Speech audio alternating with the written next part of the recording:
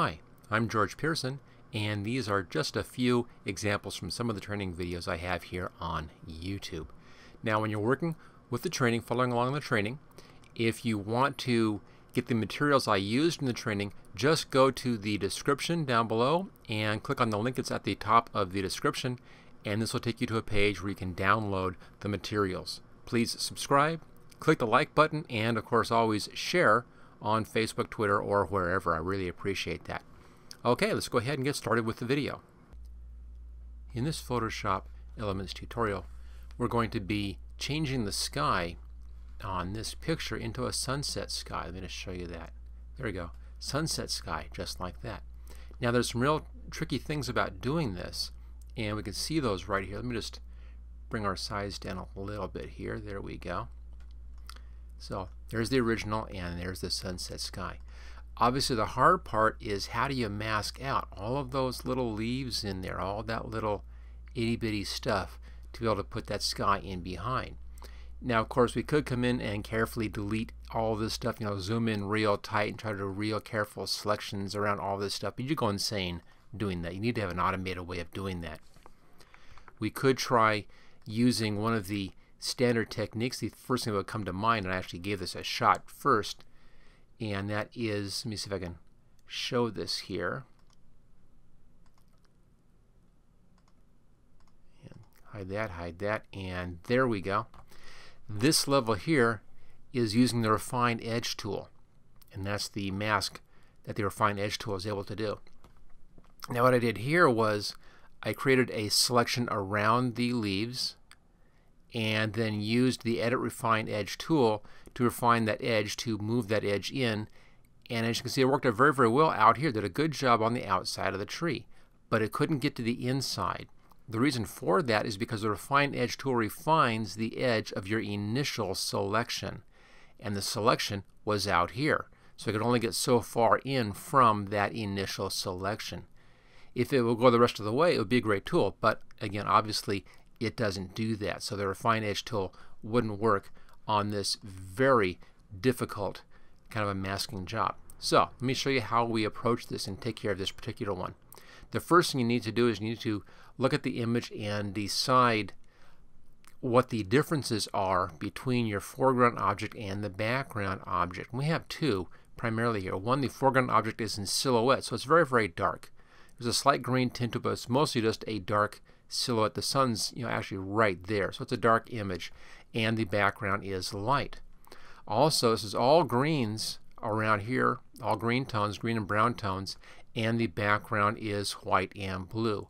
So we can use those two elements of this to create a careful mask, but it's a two-step process. We'll be using the color differences first, and then we'll be using the value differences second to create our mask.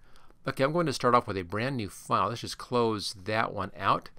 And here we go. Here's the original photograph. As you can see, there's no layers, nothing over here at all to work with. And I'll bring this down in size a bit and just kind of dock it into our window. There we go. And let's just set this to fit on screen. So there's the original picture. So the first thing I always do on anything like this is I make a copy of my background just like that and then hide the original. This is a habit that I'm in, so I can always go back to a clean image. In case I mess things up, I can go back to my clean image. We're not going to, but again, it's just a habit I'm in, and I think it's a good one to be in. Make a copy and work on it, only work on copies and on, on your original image. Of course, we'll also be saving this as a new file name, and with the layers will automatically save as a PSD file instead of the JPEG that it was initially, so that also gives us a backup that way. Okay, so there's our first step.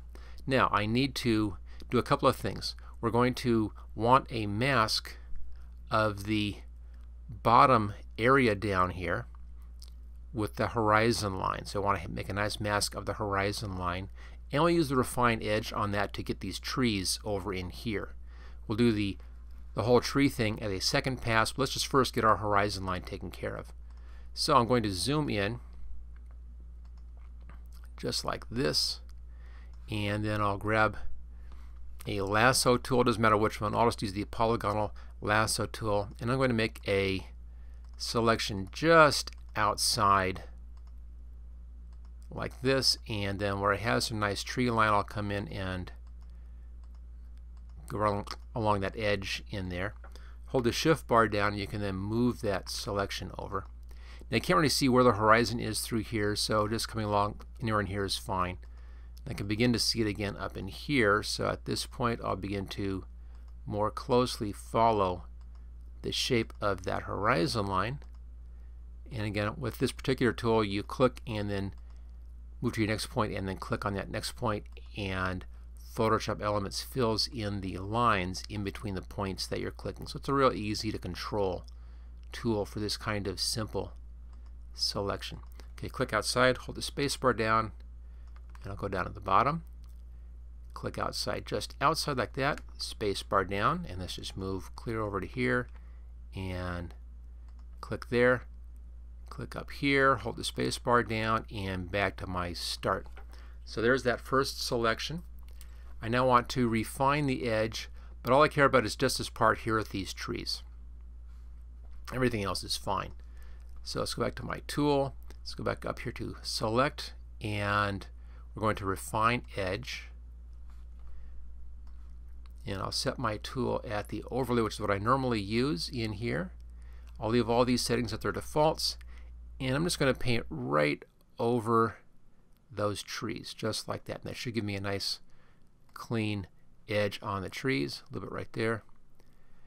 And there we go. That takes care of that. Now I'm going to save this selection. I want to output this to a selection.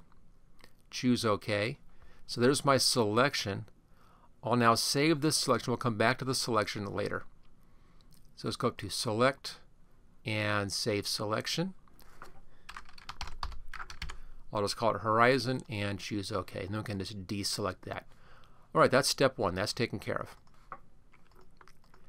And again, that's for a future step. Just wanted to get that out of the way. Now the next thing we need to do is to separate the sky from the tree. And we'll be doing this in two steps. First, I want to get rid of all this blue stuff in here. So I want to convert the blue into kind of a mid-tone gray that matches the cloudscapes. Try to get the the sky as uniform in value as possible.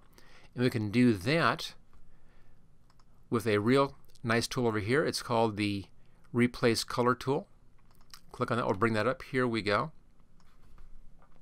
I'll start off with the replacement color. Click in here and get a little eyedropper. And I'll just choose something in the middle of my clouds. It's kind of a mid-tone gray. There we go. Choose OK. So that's what I want to replace it with. I can now go up here to the selection tool and I'll click anywhere in here. It takes that blue value and then converts that to that gray value. Don't worry about down here. All we care about is just the tree. So I'll come in and I'll click into these blue values again using the plus setting and let's get as much of this converted over as we can. and that's better. So we're pretty good. It'll still take a little bit of cleanup. We can do that cleanup easily enough once we get our layer mask done. Okay, we're better. Let's come down and change this down here. I'm going to lighten that up a little bit. Just move the, the lightness up. That's better. And then back up here again. And so we can click in some more of these spaces and just lighten things up. I'm just clicking around and is trying to get as much as I can in here to match. I'm now clicking on the clouds themselves, so kind of yellowish clouds, and that converts those clouds more over into that color. Okay, they're pretty, pretty good now. If we bring the fuzziness up, that's going to give was even a bit better. Now I still need to clean out these areas, but we're getting pretty close. You know, I'm pretty happy with this. I'm going to leave the fuzziness, I think, down. Let's bring the lightness up again a bit more. And you see what's happening. We're beginning to move the values away from the tree value. So it's now all light up here and all dark in the tree. And if you carefully watch the tree, we're not really losing any detail in the tree. We're doing a pretty good job here keeping our tree detail. Again, don't worry about down here. That's why we made that other selection previously, the horizon selection, so we're fine. But I'll lighten it up like that. I think that's pretty good. We'll fix this stuff up here a little bit later. Choose OK. So there we go, kind of a strange looking layer.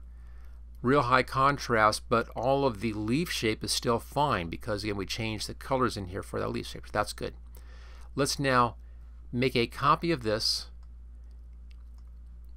Another one of my habits, I'll just hide that. I'll tend to make copies of layers partway through on your partial stages. I can always go back to a previous stage if I need to, a previous step.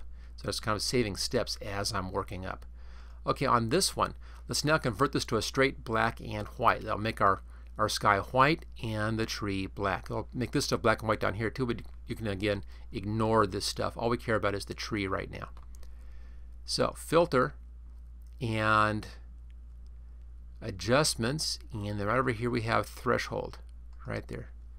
Now what this does is it allows you to make your image a straight black and white image. And you can control where that shift happens with this slider control. So we want is we want to keep as much detail in the tree as we can. That's, you know, right in the middle be about normal. I'm going to bring a little more detail back in. Just like that. So in here someplace, I'm going to use 154 as my attempt on this. If I go too far this way, I begin to lose tree detail. If I go too far this way, I'm going to begin seeing sky back in here again. I don't want to have that. So I want to be in the middle someplace, but a little more towards the dark side instead of towards the light side. It's kind of a, a judgment call in here.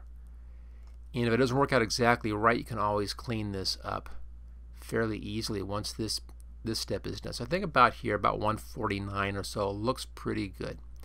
Again, don't worry about that stuff up there. We'll take care of that in just a little bit. Choose OK. Okay, we now have a straight black and white version with the tree separate from the sky. Now that means that we can select just the black and then use that to make a layer mask. So let's go back to our original layer.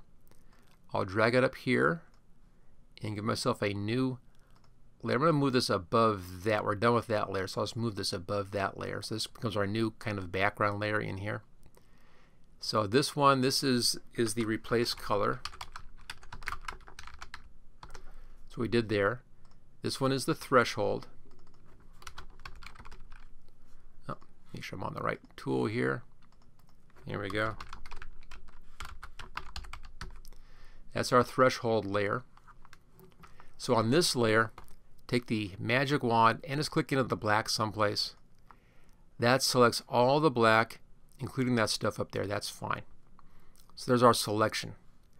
Let's come down to this layer and let's make a layer mask right there. Click on the Add Layer Mask button and there's a layer mask. Now it gives us the layer mask showing our tree in white and then hiding everything else and that's fine. Let's just now hide that. You can see there, there's the tree, and we're seeing the clear background in behind. If you want to make sure that this is okay, we can just put a kind of a, a quick orange layer in here.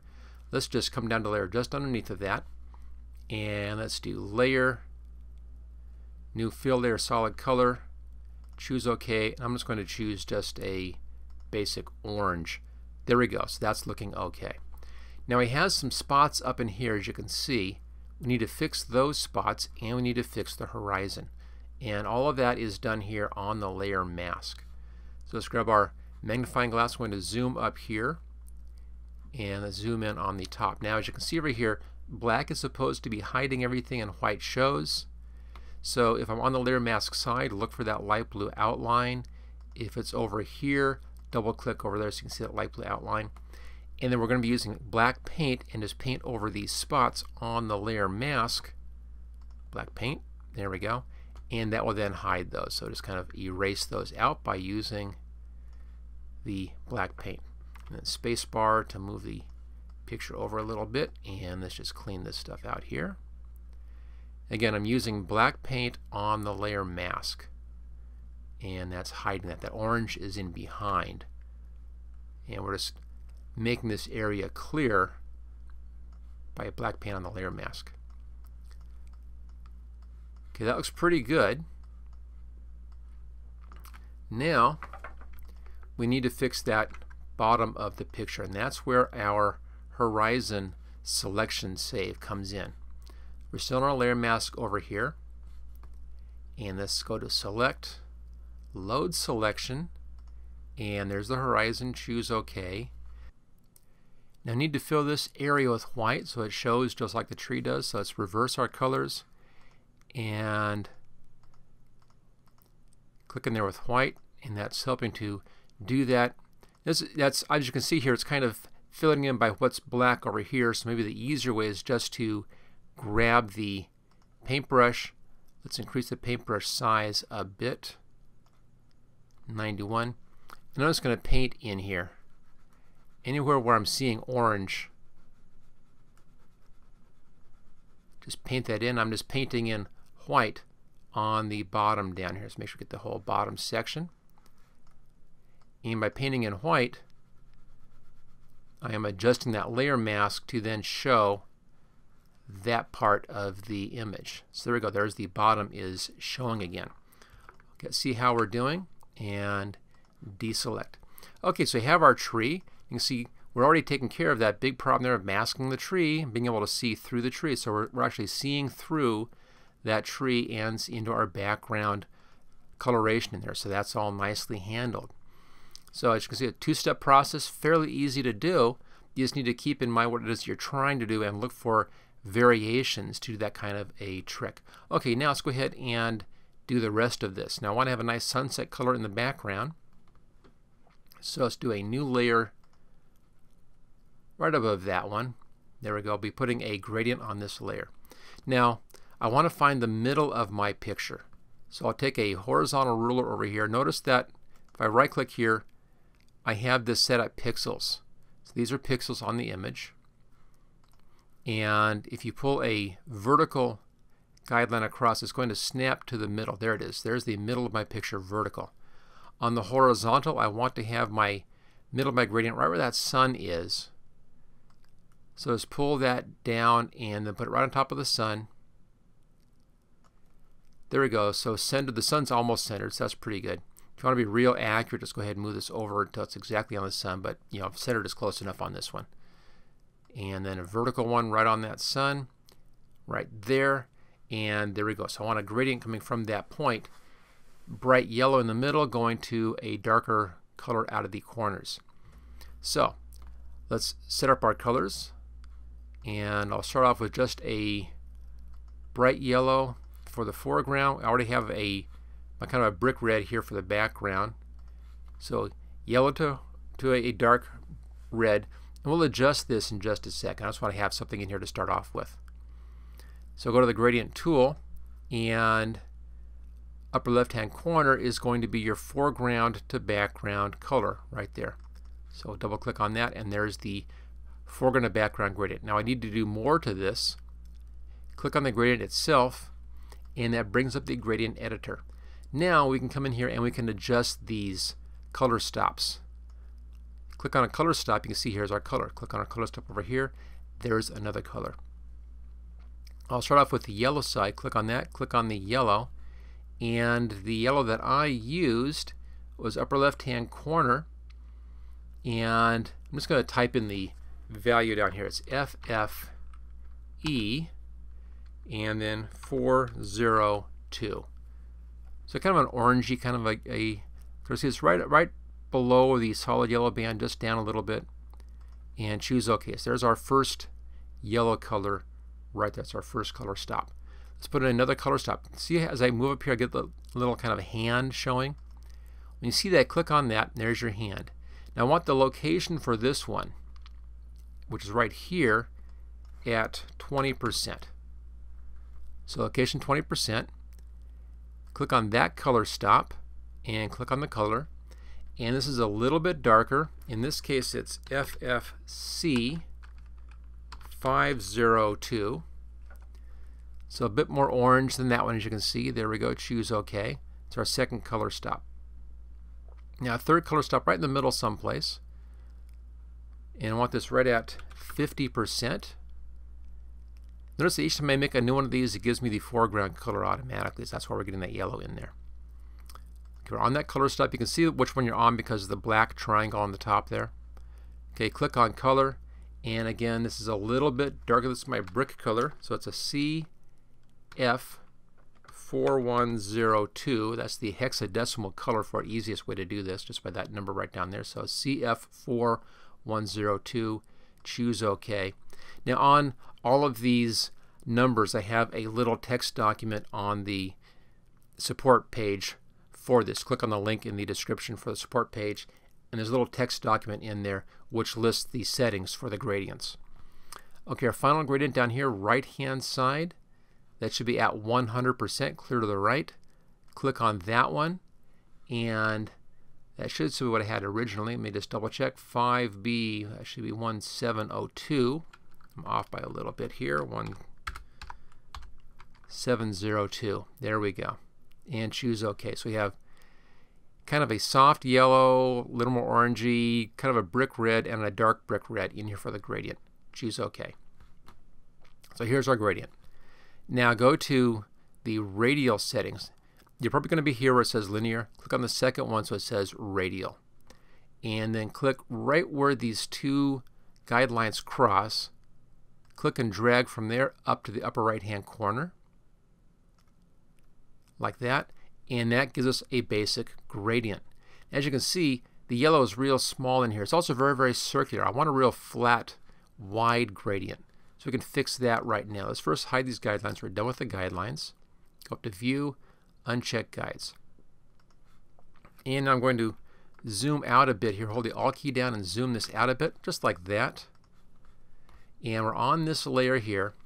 Now if you think of this as this one half here, see our control handles. That's one half, and then here's another half out here, another half out here. We're going to be resizing this layer. And you can do this just as visually if you want to. Just grab this out and pull it out so that it's about halfway out like that. So the space in here is about the same as the space here. It doesn't need to be exact. That's why I'm just doing it visually here. So about like that. So if this is our middle point, yeah, actually you know, bring the guides back in again. There we go. So here's our middle point. So this distance in here is about the same as that distance there. That's fine. Same thing on the left-hand side. Pull that one out. Just like that. So this distance is about the same as that distance. And that gives us that nice wide sunset. You can come in here, you can play with this a little bit. If you want a little bit wider, just pull these a little bit further and you'll have a wider yellow-orange one thing to watch out for, as you pull this, notice the center right here, top and bottom, that's the center line of the gradient layer. Make sure that center line is on top of the blue center guideline. So as I pull this over here, on the right side, watch how that moves. I'll just pull it over until that's right in the center. That way the center of the gradient stays centered on the sun. So you want to make sure that that's the same. So the same size left and right and that these two guidelines or these two control handles are on that middle guideline and choose OK. So we just stretched that gradient out to give us a nice soft gradient. Okay, let's just hide those guides. There we go. And let's fit on screen again. Oh, not quite because it's showing us that stuff too. That's fine. I'll just grab my magnifying glass and zoom in a couple of times here. There we go. Looks pretty good. Now we're getting close. We have our nice sunset colors in here, a nice sunset gradient. We have the tree masked out nicely, but there's a couple things wrong with this still. The colors don't match. The color of the foreground no longer matches the colors of the sky, and even the, the blacks and dark greens in the tree no longer match the color from the sky. So we need to make an adjustment on the coloration in there. So we'll do that. Go up here to this layer. This is our tree layer again. And layer new adjustment layer, photo filter right there. And where it says use previous layer to create clipping mask, check that and choose OK. Now by default it's going to have the warming filter 85 and that's the one you want and then set the density over here to 71%. I want to hit the enter key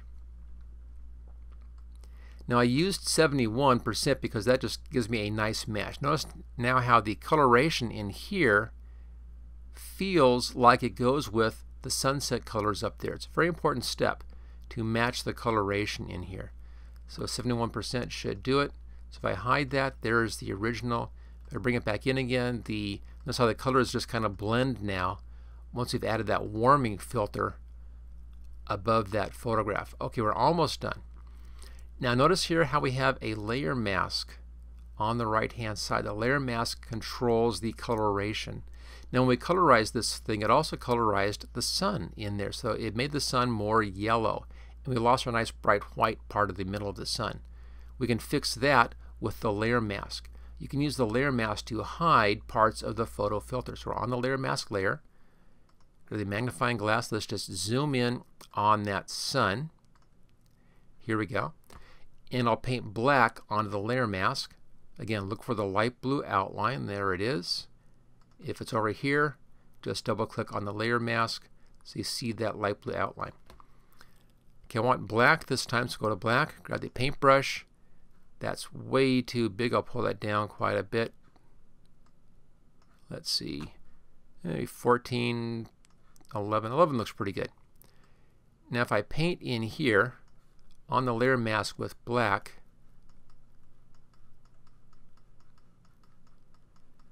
I can bring back in some of the original colors in there. So we're not losing it as much. You can kind of see that as I bring up into these edges in here.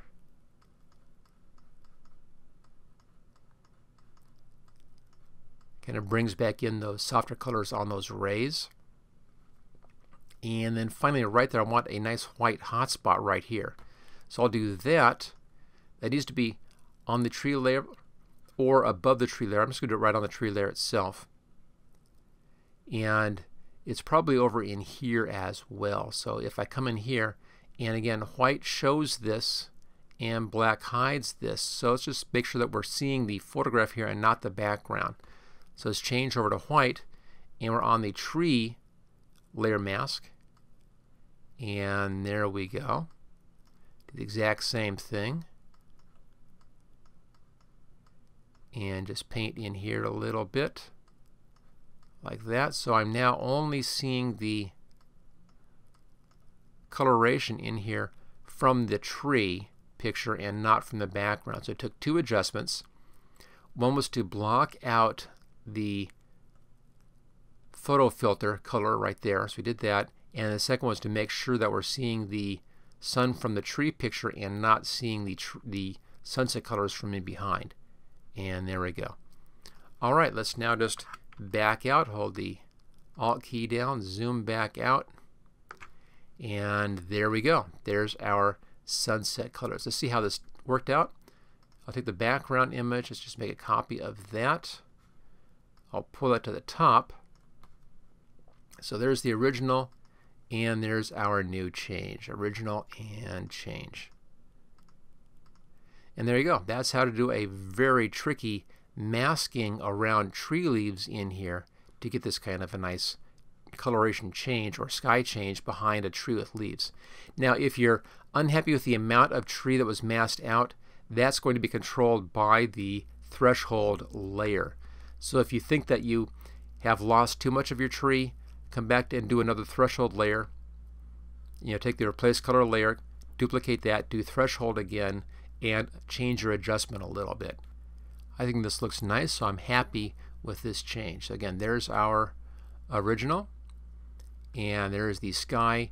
Change over to sunset colors, which we did manually, and sunset coloration in there. Let me just float this, float the window. There we go. And let's zoom in a bit so you can see it a little bit better view of this final. And there we go. So that's how to change the sky behind a tree. Thank you for watching this special Photoshop photography project video. Don't forget to subscribe so that you will get first notice of new project videos in the future. Just click on this link right here where it says subscribe here. You can get all 12 project videos in this series along with 26 special videos demonstrating the tools and techniques that I used in these projects by clicking on this link right down here. And then thank you again for watching this